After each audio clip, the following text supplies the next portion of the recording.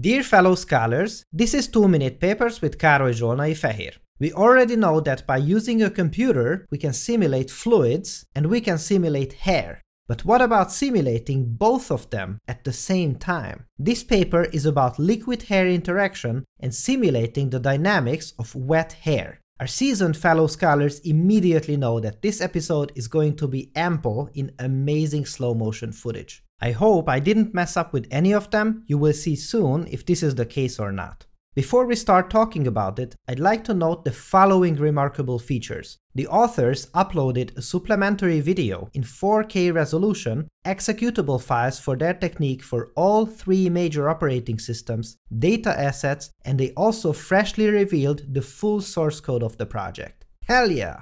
I feel in heaven. A big 2 minute paper style hat tip to the authors for this premium quality presentation. If this paper were a car, it would definitely be a Maserati or a Mercedes. This technique solves the equations for liquid motion along every single hair strand, computes the cohesion effects between the hairs, and it can also simulate the effect of water dripping off the hair. Feast your eyes on these absolutely incredible results. The main issue with such an idea is that the theory of large and small scale simulations are inherently different, and in this case, we need both. The large-scale simulator would be a standard program that is able to compute how the velocity and pressure of the liquid evolves in time. However, we also wish to model the water droplets contained within one tiny hair strand. With a large-scale simulator, this would take a stupendously large amount of time and resources, so the key observation is that a small-scale fluid simulator program would be introduced to take care of this.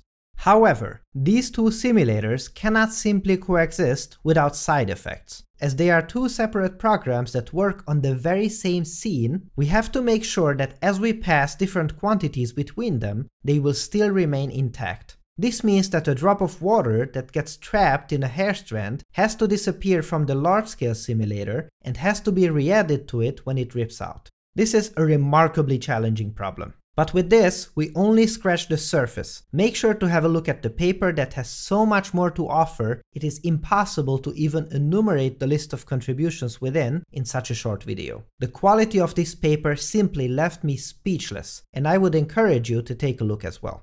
And while this amazing footage is rolling, I would like to let you know that 2 Minute Papers can exist because of your support through Patreon. Supporters of the series gain really cool perks like watching every single one of these episodes in early access. I am super happy to see how many of you decided to support the series, and in return, we are able to create better and better videos for you.